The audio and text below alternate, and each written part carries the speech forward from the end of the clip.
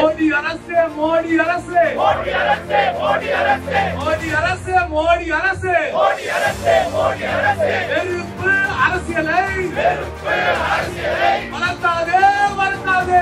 வளர்க்காதே வளர்க்காதே பாதுகாப்போம் பாதுகாப்போம். பாதுகாப்போம் பாதுகாப்போம். அரசியல் அமைப்பு சாசனத்தை அமைப்பு சாசனத்தை பாதுகாப்போம் பாதுகாப்போம். பாதுகாப்போம் பாதுகாப்போம். பாதுகாப்போம் பாதுகாப்போம் விடுதலை சிறுத்தைகள் பாதுகாப்போம். விடுதலை சிறுத்தைகள் பாதுகாப்போம் மக்கள் ஒற்றுமை பாதுகாப்போம். மக்கள் ஒற்றுமை பாதுகாப்போம் பாதுகாப்போம். பாதுகாப்போம் பாதுகாப்போம் பாதுகாப்போம். பாதுகாப்போம் பாதுகாப்போம் மக்கள் ஒற்றுமை பாதுகாப்போம். மக்கள் ஒற்றுமை பாதுகாப்போம் ஒன்றுபட்ட போராட்டம் ஒன்றுபட்ட போராட்டம் உழைக்கும் மக்களின் போராட்டம். உழைக்கும் மக்களின் போராட்டம்.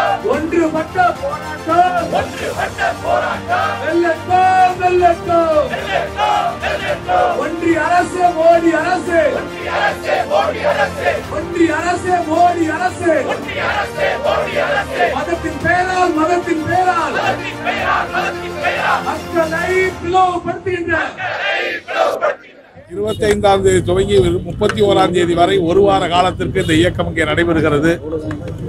நேற்றைய தினம் தமிழகத்திற்கு விஜயம் செய்திருக்கிற நம்ம வீர சவடால் பேசுகிற நரேந்திர மோடி அவர்கள் நாட்டு மக்கள் எதிர்கொண்டிருக்கிற எந்த பிரச்சனையை பற்றியும் பேசாமல் மாண்புமிகு முதலமைச்சர் அவர்கள் தமிழ்நாட்டின் நியாயமான கோரிக்கைகளை வைத்த போது அவைகளை பற்றி எல்லாம் எதுவுமே பேசாமல் அவர் மாட்டுக்கு எதையோ ஒன்று பேசிட்டு போயிருக்கிறார். நான் இந்த நேரத்திலே சுட்டிக்காட்ட விரும்புகிறேன். இந்த நாடு இன்றைக்கு தமிழகம் விலைவாசி உயர்வாலை மிக கடுமையாக பாதிக்கப்பட்டிருக்கிறது. ஆயிரத்தி ஐநூறுக்கு மேற்பட்ட பஞ்சாலைகள் தமிழகத்திலே இயங்க முடியாமல் பதினைந்து நாட்களுக்கு மூடுவது என்று அறிவித்து விட்டார்கள். முப்பத்தையாயிரம் ரூபாய்க்கு வித்த ஒரு ஒரு ஒரு ஒரு கெண்டி பருத்தி விலை மோடி ஆட்சியிலே ஒரு லட்சத்தி இருபதனாயிரம் ரூபாய்க்கு உயர்ந்து விட்டால் நாங்கள் எப்படி தொழிலை நடத்த முடியும் என்று அவர்கள் மூடியிருக்கிறார்கள். ஏறக்குறைய இருபது லட்சம் தொழிலாளிகள் அதிலே பணியாற்றுகிற தொழிலாளிகள் இன்னைக்கு வேலை எழுந்திருக்கிறார்கள் பெட்ரோல் டீசல் விலையை நாளுக்கு நாள் உயர்த்தி இந்த எட்டு வருஷத்துல இருபது முறை உயர்த்திட்டு ரெண்டு முறை உயர்த்தினதை பெரிய ரெண்டு முறை குறைச்சதை பெரிய சாதனையா பேசுகிற சவடால் பேசுகிறவர் தான் நம்முடைய பிரதமர். அதே போல நிதியமைச்சர். ஆகவே இப்படிப்பட்டவர்கள் இந்த நாட்டை குட்டிச்சவராக்கி உதாரணமா நீங்க பாத்தீங்கன்னா ஒரு லிட்டர் பெட்ரோல்ல பத்து சதமானம் எத்தனால் கலக்குறாங்க? அரசாங்கமே கலந்து விக்குது. கலப்பட பெட்ரோல் தான் இப்ப வழங்கப்படுது. அதை இருபது சதமானமா உயர்த்த போறாங்க.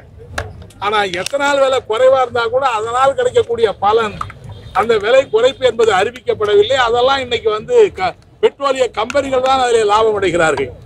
ஆகவே இந்த அதான் இந்த மோடியினுடைய ஆட்சியில் அதானி அம்பானி போன்ற இருக்கிற கார்ப்பரேட் மக்கள் கார்ப்பரேட் முதலாளிகளை கொழுக்க வைப்பதும் ஏழை எளிய சாதாரண மக்களை வாட்டி வதைக்கக்கூடிய அளவுக்கு இன்றைக்கு விலைகளை ஏற்றி கொண்டிருக்கிறார்கள்.